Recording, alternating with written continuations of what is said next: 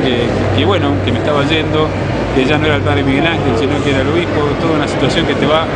te va pasando lentamente, ¿no? Si bien hace 15 días que me ordené, eh, la gente, como el aplauso de hoy, la bendición que me dio, me regaló hacer Monseñor Mazareto, me permite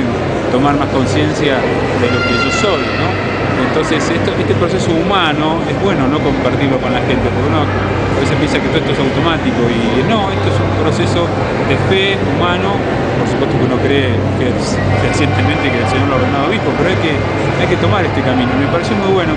todavía no irme tan rápido de acá y vivir este San Isidro Labrador, incluso te digo, estando ahí en, la, en los pies del altar, eh, pensar cuando me ordené, de diácono, cuando recibí el ministerio, como señor Aguirre que tantas veces ha hablado de ahí,